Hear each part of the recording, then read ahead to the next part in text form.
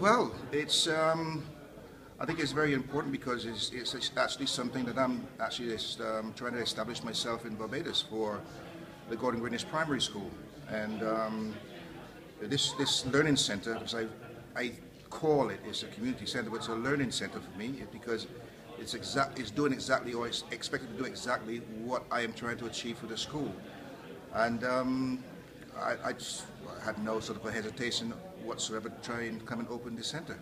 How important is the relationship between a cricket club and the community that surrounds it?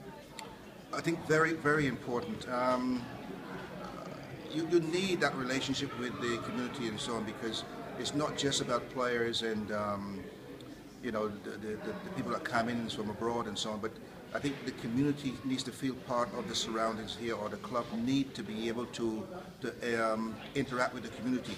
I think that's very important. Uh, you, you, build relationships over over the period of years, as, and as far as Hampshire is concerned, um, I know and remember the, the, relationship from the community within Southampton at Northlands Road. Um, I'm not that privy to what's been happening here at the Ageas Bowl down here in Botley so much because I've only been out here a couple of times, but um, I feel that relationship is very important.